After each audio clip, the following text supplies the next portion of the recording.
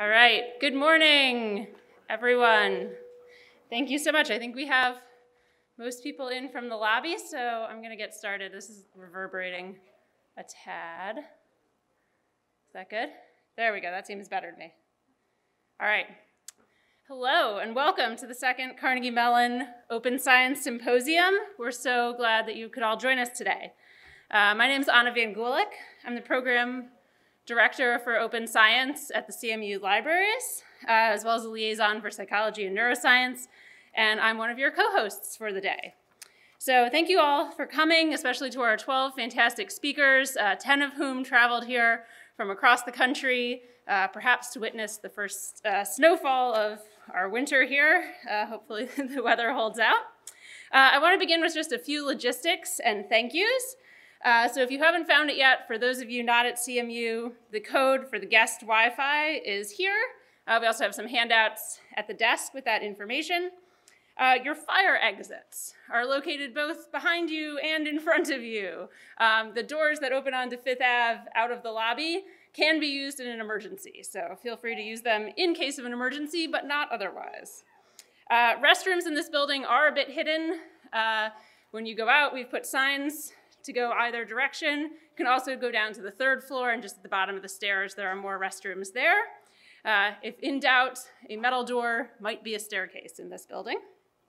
Um, in fact, I hope you have a chance to check out an exhibit that we have here in the back of the library in our periodicals room uh, on the history of this building of Mellon Institute, which started in 1913 as the Mellon Institute for Industrial Research. Uh, our archives recently launched that exhibit uh, together with their digital collection, so feel free to check that out at a break. Um, we will be making video of the talk sessions as well as speaker slides available online after the event, so just be aware that during the sessions, they are being recorded. Uh, we'll have coffee, tea, snacks available at both the morning and afternoon breaks. Lunch will be served in the lobby uh, as well as an afternoon cocktail reception that will include time for demos, networking, discussions, uh, and so we hope you'll be able to stick around at the end of the day to join us for that. Uh, if you'd like to show off some of your open science work at that reception, if you have a demo of data or a tool you want to show on your laptop, or even just a topic you want to discuss, we have some room for people to sign up. Uh, Huajin is in charge of those, and we'll have sign-ups at the back of the room at the breaks. Lastly, Please remember to take some conference swag with you at the table. We have some notebooks as well as your choice of pens and stickers from our sponsors. Uh, so this is the second year we've hosted this event, which last year was funded by a grant from the DSF Charitable Foundation through the Mellon College of Science. Um, and this year, uh, we need to thank a number of different sponsors for helping us make this event possible. So the CMU Libraries, the Mellon College of Science, the CMU Neuroscience Institute, Figshare, Protocols.io, eLife, Lab Archives, and Addgene. Thank you so much for your support and for making this event possible. Uh, I'd like to also introduce you to our symposium organizing group from the libraries, both to thank them for all their work, uh, and also so you know who you can go to throughout the day with any questions. So uh, the team includes myself, uh, Hannah Gunderman, if you wave, Hannah, um, Huajin Wang, Katie Berman at the back. Uh, and then I also have to thank our colleague Melanie Gainey, even though Melanie is not here today because she is on her maternity leave with her now eight-day-old daughter, but she worked right up until her delivery date on this event last week. Uh, so big thanks to Melanie for all of her help. Um, also thank you to our volunteers who are at the registration desk, Sarah, Neelam, and Marie. They can also help you answer questions during the day. All right, so with all that said, uh, I'd like to introduce Keith Webster, Dean of the CMU Libraries, uh, and a big supporter of open science, without whom, without whom this event and much of our work at the libraries supporting research would not be possible. Keith? I've just learned the first technical glitch. It seems that the Wi-Fi code has expired, so you can either use my iPad, which I've just opened up to Event Manager, or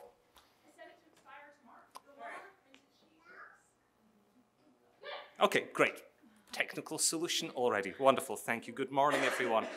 Uh, More data will be created in the next five years than has been collected in the whole of human history.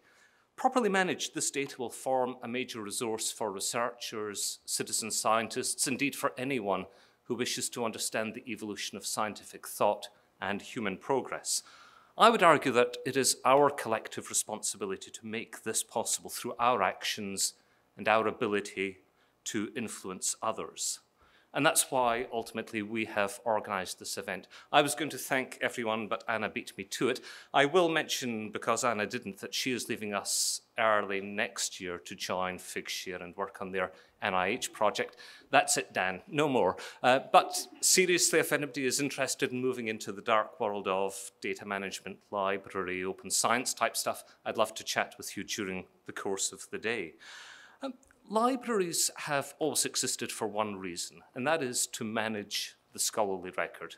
That, quite simply, is what we've always been about. We've built upon scholars' ideals of sharing their thoughts, their scientific developments for centuries.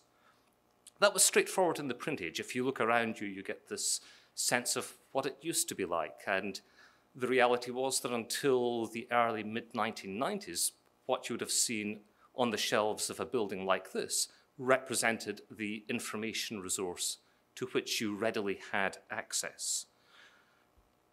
That, um, but the, a couple of disruptions have impacted on this along the way. Firstly, preceding the digital age was the emergence of the impact factor. And that was designed really as a byproduct of a better way of finding scholarly literature. And Gene Garfield and his colleagues at the Institute for Scientific Information really wanted to advance scientific discovery. But they had an unintended consequence, which was the commodification of scientific journals and the creation of a market through which commercial publishers and others were able to take that tradition of scientific sharing into a commercial space. And that is a problem that we still wrestle with, although there are tremendous advances underway. The second change that has really disrupted what you see around you, of course, was the emergence of the internet and the growth of digital publishing over the last 25 years. At that point, though, we still had a strong focus on the formal scholarly record, what you see on our shelves and in shelves in libraries near you. But that record has been susceptible in recent times to considerable expansion because the products of the research process leading to the scholarly publication and the aftermath all are susceptible to being captured and shared in digital form because that is how they are created. For those of you in lab environments, you are conscious that the data you're generating are captured and stored in digital form the conversations you have with your lab groups, with your peers in other institutions, exist in digital form. And all of that can be captured and stored as part of the scholarly record. Equally, the aftermath of your research process, the mechanisms through which open peer review is conducted, through which data are reused, through which reproducibility exercises take place, all form part of the coherent totality of the scholarly record. And I would argue that that is an important thing we need to acknowledge during the open science movement, because we're not focused on open access to publications, which is what a lot of librarians think about when you talk openness, but rather it is about opening up the scientific process, the sharing of data, code, algorithms, all aspects of research. And it is as we see all of that come together that we identify the platform on which scientific endeavor can be improved. I'm going to resist the temptation to launch into a lengthy lecture on this because I want all of you to get underway. Um, but what I, I would say is that as we think about open science and its potential, it requires partnerships amongst scientists and librarians. You are doing the science that can be opened up. We have the expertise, the technologies, the resources to help you on that journey, to help you make your impact on the scientific world, to help your outputs be discoverable, reusable, and to help you identify other people's research artifacts so that you can work with those and build upon other people's ideas. But why here? What is the significance of our focus on open science at Carnegie Mellon Libraries?